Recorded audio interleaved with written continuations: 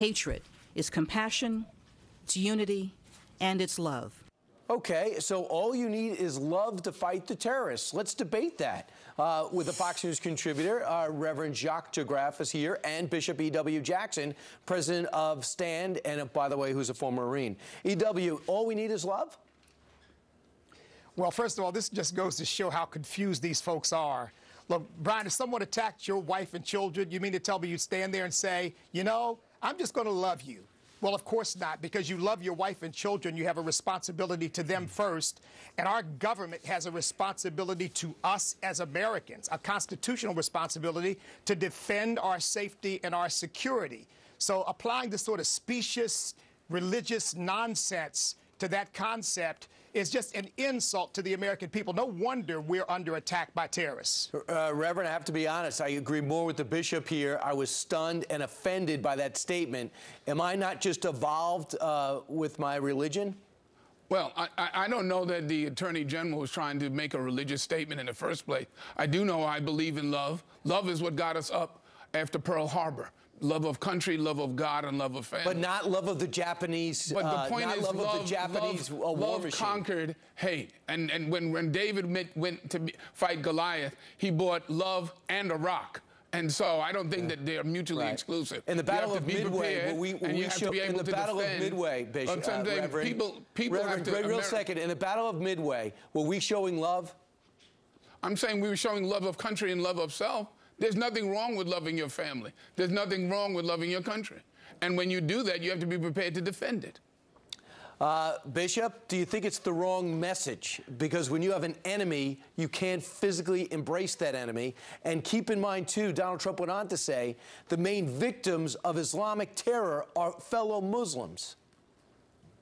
Well, look, no wonder the church in America is so confused because you have nonsense like that being spewed. That's theological malpractice. When David fought Goliath, David didn't go singing, tiptoeing through the tulips, I love you, Goliath. He told Goliath, I'm going to cut your head off and I'm going to feed it to the birds because Goliath was threatening the Israeli, the, the people of Israel. I mean, look, these terrorists are cutting off the heads of children. And to, to bring the context of love into a discussion like that, I mean, it's, it's almost madness. But this is where political correctness goes when you're told you can't even mention the fact that it's Islamic terror. Well, that's exactly what it is, and we better deal with it for what it is, or we're going to see a lot more Americans die. And we that's Holy be Ghost hogwash, and you know it. This is really about love of country and love of self and love of principle. That's not what and she not was letting talking the about, dark side and you know it. conquer light. And so uh, Americans know that. That's what Americans know. Donald Trump is not in the equation, and Loretta Lynch is leading with, as one of the that, most historic well, attorney generals in American history. Reverend, let me just ask you this. When you see those Christians on their knees, wearing jumpsuits, knowing their heads are about to cut off, are you thinking all those terrorists need is love? It's not love of the terrorists, it's love of God. And so, yeah, I love their souls. How do you survive? Souls, how do you survive that moment? You have a right to defend yourself against terrorists.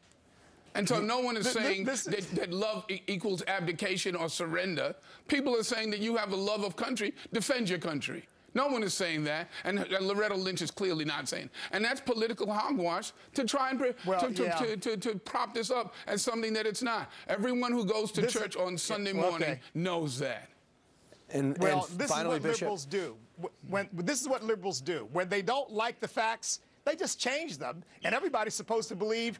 Don't believe what you see and heard, but right. believe what I'm this telling you about what opportunists do when they don't done. have a, le- uh, I don't see how, leg to stand on. Uh, believe I stand well, on the see, Bible. There you go. Right. So I now, stand now on my Bible. Right. I stand on my Bible. Right, uh, Reverend. Yeah. Well, I don't know which Bible yeah, that you don't, is. Of course you don't. well, of course you don't. Yeah. Uh, Bishop, guys, I, I know good. Thank you. Thank you. Very good debate, but no one cut off Loretta Lynch. She says we defeat the terrorists with love, and that makes us wonder why we bought all the camouflage and armor and have a defense budget if we're going to just need Bullets love. Bullets and bombs cannot just defeat terrorists. Well, we, got, we have to have, find some way to get them off this planet so they don't kill us. Well, uh, Reverend well, Jacques let's DeGraff. send Mr. Girac out there. Let's mm-hmm. send Girac out there to defend us, and I'm sure he'll persuade them right. without the, the mm-hmm. bombs and the bullets. And they seem so open to debate. Bishop E.W. Uh, Jackson, thanks so much, guys. Thank you. Thank you. All right, straight ahead. He was Osama bin Laden's bodyguard. This morning, he just the latest terrorist released